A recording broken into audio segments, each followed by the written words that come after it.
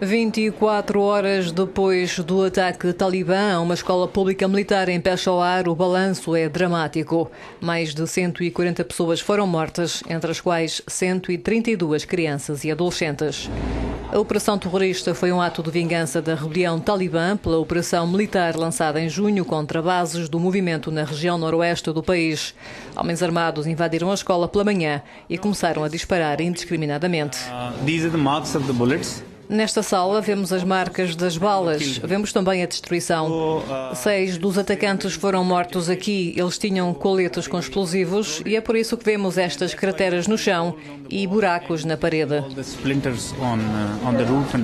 O governo paquistanês sustentava que a ofensiva contra os extremistas na região do Oziristão tinha paralisado a rebelião, mas este massacre conta uma história completamente diferente.